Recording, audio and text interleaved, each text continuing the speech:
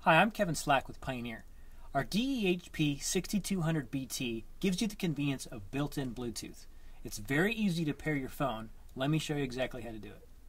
The first thing we're going to do is push and hold the connect button.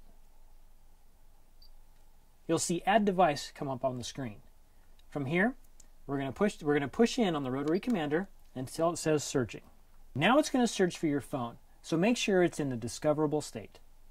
Once the unit discovers your phone, simply push in on the rotary commander.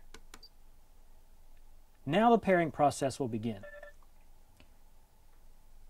Follow the directions on your phone and enter the passcode, which is 0000.